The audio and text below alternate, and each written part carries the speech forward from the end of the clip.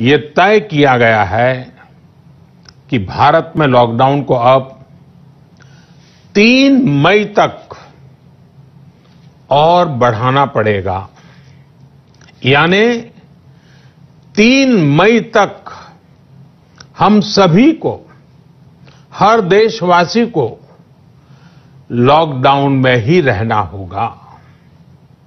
इस दौरान हमें अनुशासन का उसी तरह पालन करना है जैसे हम करते आ रहे हैं।